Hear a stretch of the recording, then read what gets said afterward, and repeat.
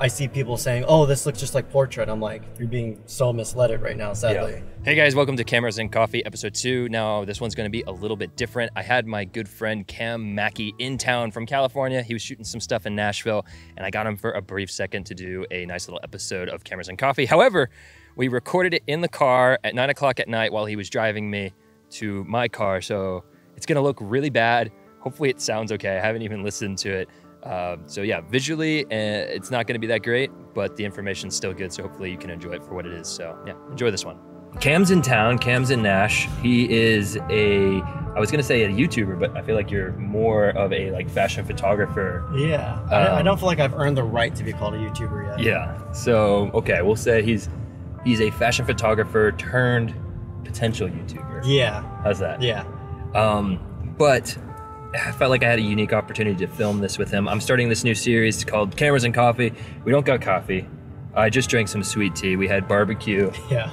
It was awesome. it's my fault. We're, Yeah. we're, I had Connor working this whole time I was out here, so It was really fun, though. time to. Yeah, I'll be back. yeah, yeah, yeah. But yeah, we, we did this shoot with uh, uh, Cam's clients. It was really cool. Uh, kind of like a westerny, yet not westerny Yeah. cowboy vibe. It was really cool. But I wanted to just take a few minutes and talk to Cam about. Really, I wanted to ask you about film, right? Yeah. Because this is something that I have become more and more interested in, Yeah. but I have zero experience on. Yeah, And I know you have a lot of opinions yeah. on, right? Uh, so can you just explain to me kind of like the deal with getting the film look? Because it's something that I've been trying to acquire. yeah. That um, and I feel like a lot of people are trying to acquire. Yeah. A lot of it, people think it's all about colors. Yeah. It's not really about colors. Like, Portra is the most popular film because it was the most natural color negative that you can get. Mhm. Like, most realistic colors, but so to look. It's all about your curves. Oh. Your curves adjustment. Adjustment? Adjustment. Yeah. It's literally, I made a little six pack of curve adjustments that I haven't shared with anyone yet because they're that filmic. Wow. It's all about the curve. And the color science because of skin tones. hmm Film has the greatest skin tones. It makes skin tones look better than real skin tones. Yeah. For some reason, people put like on these teal and orange LUTs and they're like, this is filmic or this Right. is cinema. It's like, none of that. And they just throw a ton of grain on it. Yeah, Lightroom. it's not about that at all. right. At all. So, a camera that you've been messing around with a lot is the Fujifilm, which you have the X100V. Yeah. Great camera. I'm not even holding the center That's right how now. obsessive I am with it. It's in my lap at all times. Yeah, and you used this on a professional shoot just now. yeah. That's on like crazy. three days of shooting, I Right. used it every day, and I favored it over my Canon R5. Right. which I love to death. But this thing was just like always there. And Yeah. it was just naturally when I'm working, especially with water gun stuff like this, like a lot of stuff's not planned. It's just whatever like my natural instinct is is what I use. And that was going to this X100V, which is mind blowing. Yeah, but it's interesting because we're we're using JPEGs, and you've gotten pretty close to that quote unquote film look. Yeah. Can we talk about the what you've thrown in front of your lens? Can we talk about that? So, one of my turn signals on now that on. um, so classic neg Yeah. on these X trans 4 whatever sensors um, is freaking amazing. It softens the blacks a little bit. It pushes the greens a little bit more to a minty color, which uh, more Fujifilm stocks do. Uh, Kodak greens are a little bit more warmer. Yeah. Uh, Kodak Portra is actually a warmer type of film in general. hmm Uh, like the highlights have some warmth to them, and so the classic neg is has a lot of the film characteristics with the curve that they put on it. Um, but then they push the colors a little bit too much. Like Fujifilm Superia film has very magenta skin tones. Mhm. Like it's nasty. I don't. I really don't know why. Compared to, to Portra's, and theirs is like you either get the salmon colored skin tone or you get this warmer golden hue skin tone. And so I pushed my tint to a more green color to get a warmer look out of it, like Portra. But then the greens are too saturated on Classic Neg. So in order to filter that, I put a um, it's a magenta filter. I forgot what's the technical thing for it. Um, it's for the light type. Uh, I know. It's, it's I think the I, lights that do the purple cast, the, the bar Fluorescent. lights. Fluorescent filter. That's it. Yep. Um, and so basically, what I'm doing is I'm trying to kind of trick the camera to thinking that the scene's very purple. It naturally is killing the green hues being fed into the camera. So in return, I can push my tints really hard. It's like negative six and eight. Yeah, I think I peered through your settings. I think it was actually negative nine. Oh, see? Yeah. And so, but basically, what I'm doing is I'm able to push the whole image to a greener, warmer tint while not having those overly saturated uh, classic neg greens that Yeah. it does. And if you guys want to see some of this work, I assume this is gonna some of this is gonna appear on your Instagram. Uh, for sure. Yeah, over time Yeah, because I these mean- photos are sick. The one of the clients she asked if I had photos the next morning after we were all partying till like 4 a.m. Yeah. Literally around like nine or ten. She goes, "Hey, do you have any photos I can use right now?"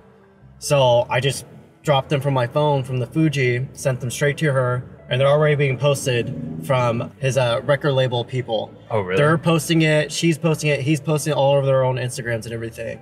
So I kind of wish I got to do like a little bit, like at least some retouching or something. But they, Yeah. it's out there, straight from the X100V. Shots are being used for marketing material. Yeah, it's kind of crazy because I've always kind of like thrown JPEGs as like the. It's like you, you never shoot it. You always same. shoot raw, you know. Same. But I think that like Fujifilm kind of offers something that other camera manufacturers just don't have, Yeah. right? But obviously, if this was like a campaign, I wasn't shooting campaigns. This was for a music artist, Right. And uh, they love like the retro type stuff I do. So I this is why I was so obsessed about trying to find this camera before this trip, was for that exact reason. Um, and so we got to use it on that, and it paid off. Yeah. Like rarely do I feel like I'm ever like that right. Yeah.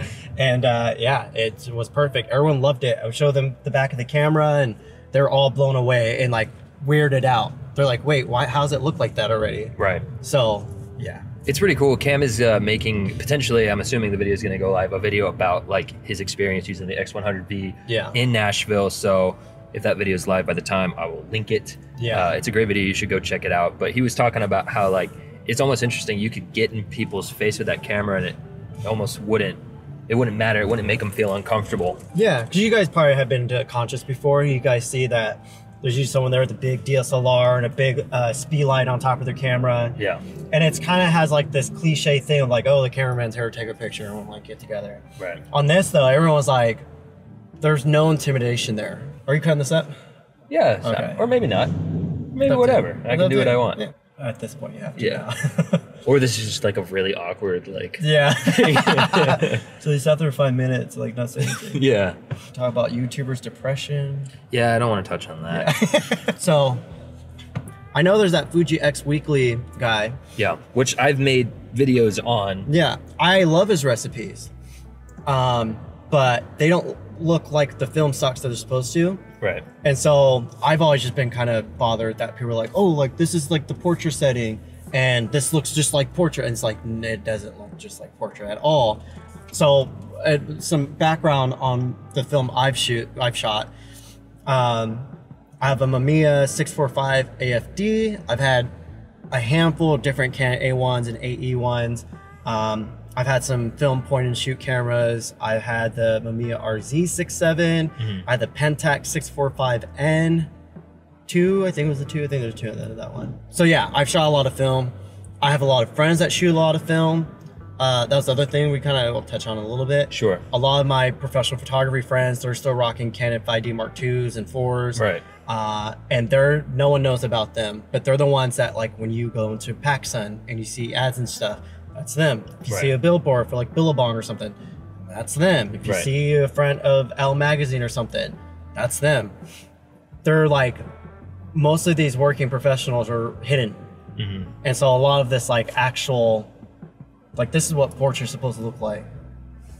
Right. And then, but then you have a bunch of people saying, no, this this looks like film. It's like it doesn't look like film. Though. Yeah. I'm actually kind of curious about the Fuji X Weekly because I don't know that it's a guy because I I swear I saw in there once it was like it was titled Amy's like Fuji Superia or something. Oh. So I, I almost wonder if it's just like a community of People mm-hmm. can post recipes. I really don't know. I've found them re- very recently. You can get some interesting looks. Like there's a few of them that I found that I enjoy. yeah, they But- definitely look cool. But you're you're right. They don't they don't directly represent the Yeah. film that they necessarily claim they do. Yeah.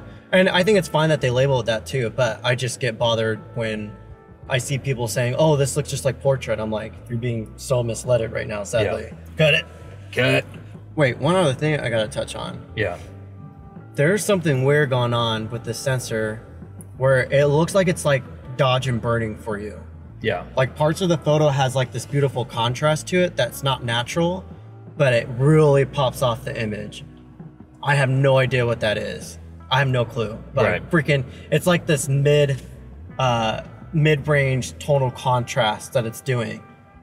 And it like makes it a little bit more crunchy and and like film has this deep gamma to it. Gamma's usually just like your mids. And it, it kind of brings down the contrast while bringing down the colors while also saturating them a little bit um, while keeping the shadows safe. Like that's a hardcore film thing. And so this, I have the chroma effects turned on, so maybe that's what it is. Yeah. It might be that, It could be. where you can see the highlights kind of popping off, but the colors are still deep, but the shadows are still there, being Yeah. recovered. Yeah, I don't know. I don't know. Hey, listen, guys. Obviously, Cam, Cam's the real deal. Like he, he's uh, he's an actual professional. So like, if you have not seen Cam's YouTube channel, it's Cam Mackey, right, on YouTube. Um, I think. You think? you don't even know. I'm pretty know. sure it's Cam Mackey. I'll link it in the description. But dude, like, thanks so much for just Yeah, having a casual conversation with me Yeah. about about film and Fujifilm and all that stuff. We love yeah. that stuff. so. Next time I'm out here, I'll bring film. Okay. Ooh, can we? Yeah, I'm gonna do that video soon. Actually, Okay. I'm gonna run an actual roll Portra Gold and uh, Ultramax, and I'm gonna make simulations side by side to them. Okay. That'd be sick. Yeah, That's gonna be really cool. Okay, guys, definitely make sure you subscribe so you can see that. No. yeah, yeah. Subscribe to his channel so that you can see that. I ramble on. yeah, yeah, yeah, Yeah. But um, anyways, guys, I hope that you have a fantastic day, and I will see you whenever I make another video. Take it easy, guys.